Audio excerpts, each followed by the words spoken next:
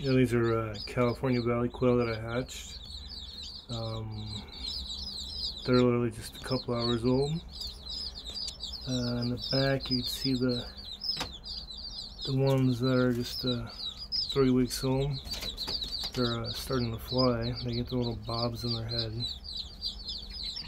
Um, and then we got some of the that are in the incubator right now.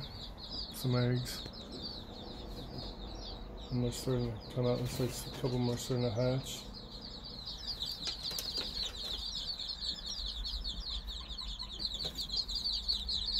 These things are so fast and it's amazing.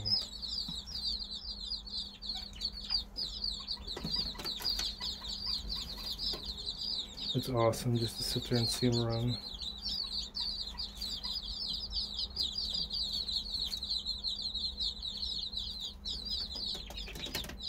Gotta get get them some water. That's what I'm working on. That's why you see the rocks in there, so that way they don't uh, drown themselves.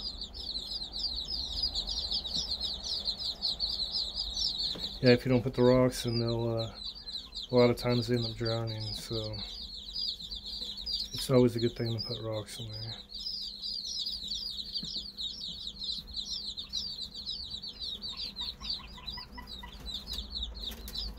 Bigger ones are talking in the background.